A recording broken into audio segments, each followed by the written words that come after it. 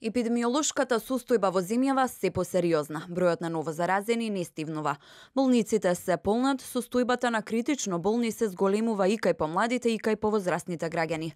Од инфективната клиника за телевизија 24 вела дека состојбата станува алармантна и бара да се отворат ковид центри. Капацитетите, еве јас од зборувам од позиција на вработен во клиниката за инфективни болести, е преполн. Веќе неколку дена a nie, nemáme e, skoro jedno slobodno mesto i pacienti te normalno se prepraćat во другите институции. Во градската општа болница 8 септември новото оделение за ковид пациенти веќе е исполнето, а сите што се хоспитализирани не се вакцинирани, со исклучок на едно лице кое било со полесна клиничка слика, вели за телевизија 24 директорот на болницата.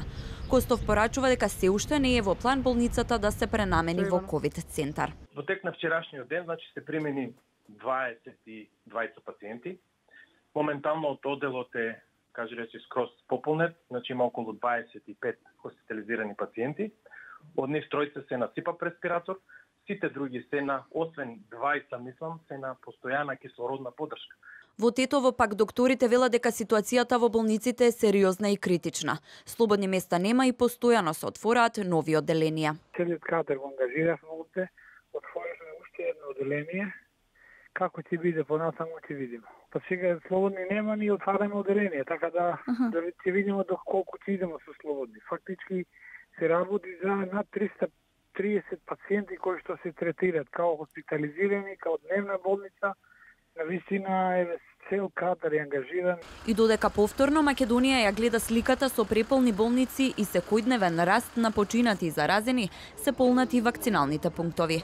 Најмногу гужва во Чаир, а во Јане Сандански пак дневно се вакцинираат околу 1500 лица, а старосната граница на оние кои се вакцинираат сега е променета. Перманентно бројот на вакцинирање е тој околу 1400, 1300, нака 1500 но сликата на старосна граница е променета. Еве кој што може да видите и статистички гледано све све поголем број млади луѓе се вакцинираат. Според последниот извештај на Министерството за здравство од 6 до 12 август од 3497 позитивни на коронавирусот, 450 од нив биле целосно вакцинирани, односно 12,8%. Во истиот период од една седмица починале 25 лица од ковид, но ниту еден од нив не бил вакциниран.